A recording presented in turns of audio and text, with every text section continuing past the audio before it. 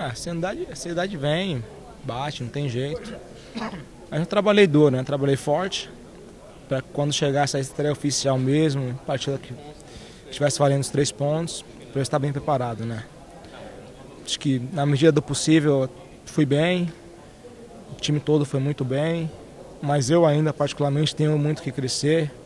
Fiquei seis meses sem jogar, é muito difícil, você, você perde tempo de bola, o campo está mais, muito mais rápido do que eu jogava antes, então adaptação, acho que mais dois, três jogos a gente já entra no ritmo dos outros. E acima disso, né, dois, três jogos, vem o Vitória fora, mas daí o próximo aqui é um Palmeiras, cara. É um clássico que o torcedor também não vê a hora de ver um rival, para que o rival conheça a casa do Corinthians. Ó, oh, o Corinthians tem a casa, essa é a nossa casa.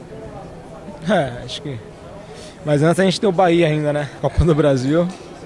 Agora não vai parar, então a gente tem que ir pensando jogo a jogo.